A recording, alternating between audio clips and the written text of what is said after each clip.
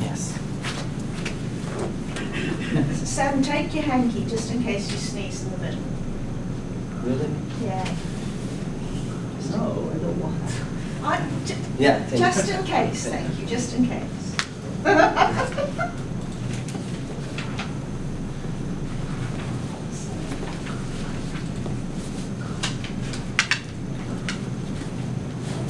Okay, you know your name. You know your name? I know your name. Do you need me to help you? I'm just remembering. Wait. That, no, that, that, that's not you, son. Yeah, that's right. you.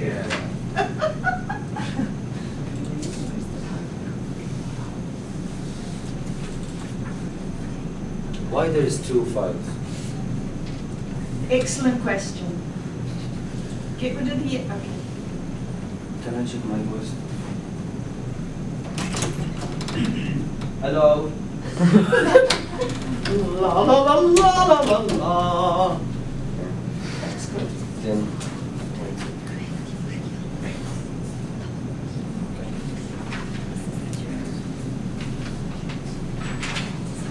Three, please. Right. Woohoo, you got it. yeah.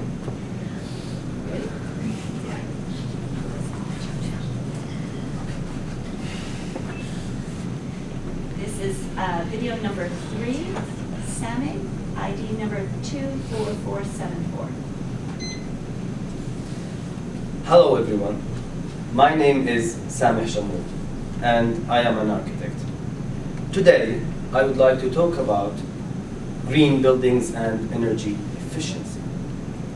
The whole world has been facing problems caused by an increasing demand for energy due to rapid population growth which has put enormous pressure on the construction industry. In fact, residential and commercial buildings spend much more energy than industrial and transportation in developed countries, reaching 20 to 40 percent. This has made energy efficiency a top priority for energy policy. Many green buildings organizations have been established worldwide to overcome this problem. For example, the US Green Building Council, USGBC, has developed certification systems about such as LEED. Now, what is green building? Compared to conventional buildings, green buildings focus on the efficient use of energy, water, materials, and land, and also provide better lighting and ventilation for tenants. So, green buildings sounds like a good idea, isn't it? But are these advantages really borne out by the evidence? This is what I would like to discuss today. To what extent can green buildings reduce energy usage and improve the global environment? Well, green buildings certainly can improve the global situation and at least they can make a sound contribution. They can make a change. Now, let's start with the challenges. Uh, I will start with by talking about the challenges, then I will talk about the advantages of green buildings, mainly the efficient use of resources such as water energy and the financial benefits of green buildings. Directly in the operation, maintenance, and indirectly in the material preparation stages. Now, let's begin by talking about the challenges green buildings face. The largest challenge is due to the widespread perception that green buildings are costly and provide more environmental and health benefits than cost benefits. Is this right? I think so. Criticisms also have been made about all green buildings organizations and corporations that they have become more profit centric. They care about money. And therefore, green buildings movements purity is in danger of being lost. Another criticism have been made about certification programs. So, according to Edwards Adnabouly, some leading some LEED certified buildings perform worse than non-certified buildings. Now, let's move on to talk about the advantages of green buildings.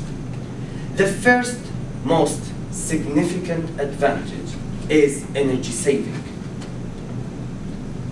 The Environmental Protection Agency in the United States found that approximately 90% people spend approximately 90% of their time indoors.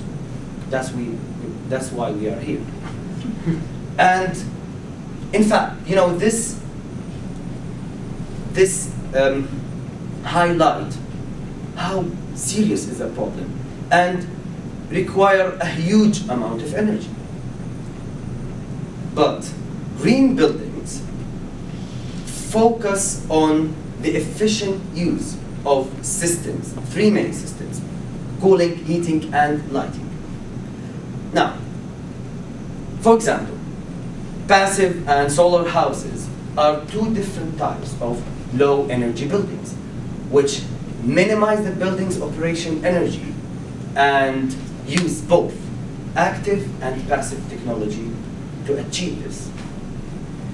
Now, as an architect, I developed this figure to make it, uh, to simplify those three concepts, lighting, heating, and cooling. Now, let's start with the passive solar lighting. The passive solar lighting, first, the building collects the light outside and brings it in, distributes the light all over the space, and controls the artificial light to maintain a uniform light. Then, the passive heating system can be divided into four main stages, as you can see red. By collecting the sunlight, storing it in a thermal mass, convecting the heat inside the space, then controlling the temperature. Now, unlike the heat, the passive heating system, the passive cooling system focus aims to remove the heat from the building by using shading devices and provide natural ventilation for tenants. I hope it's clear now. Now, let's move on to talk about the financial benefits of green buildings. First, energy and water costs. A recent example is a hotel spent $184,000 for building energy efficiency improvements and realized a yearly saving of, what do you think? 80, $58,000. So it's almost one third. Then, the environmental and emission costs concerning environmental and emission costs. Lockwood states that green buildings have less negative effect on the natural environment. Regarding operation and maintenance costs, the University of Hawaii saved 3.4 $3.4 million following LEED certified buildings. And finally, green buildings certainly improve tenants' health and productiveness. You know, when the workplace becomes green, sick building syndrome, influenza, and allergies are reduced to 20 to 50 percent, 9 to 20 percent, and 8 to 25 percent, respectively. Now, in conclusion, although there are criticisms, about green buildings, it is evident that conventional buildings do not provide as many benefits as green buildings. This leads us to the most significant question. Why do we need to consume more energy in our buildings? Think about it. Now, finally, as a personal recommendation, further work is needed scientifically through, im- through, through, through the development of new green building methods and socially by increasing people's awareness about the benefits of green buildings. Thank you for listening.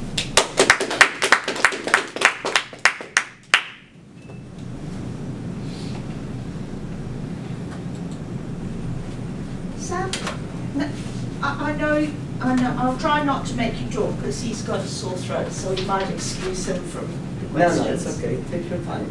Um, that, the, you had those statistics about uh, the reduction of illnesses in green buildings? Yeah, Can you explain them to me again? Back, sure. back, back. O- Okay. Now, There, oh, there. okay. That's really impressive, I know. But like, it is evident that the green space, the green building space uh, has much better air quality, you know, than a normal space. And that's why I'm sick today. That's the reason. If this is a, building. if this is a green building, I would be sick. Trust me. And you know, um, that's like this is a